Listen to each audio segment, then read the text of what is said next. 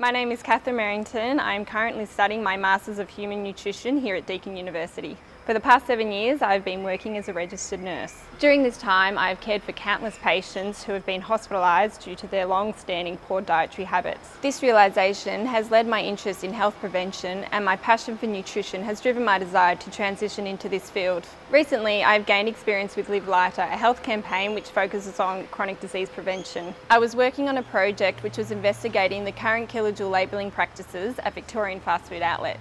From this experience, I gained skills in public health nutrition, nutrition prevention and public policy. My recent studies have provided me with fundamental nutritional knowledge while also furthering my skills in communication, digital literacy and critical thinking. With my years of experience as a nurse and now specialised knowledge in nutrition, I would without a doubt be an asset to your team.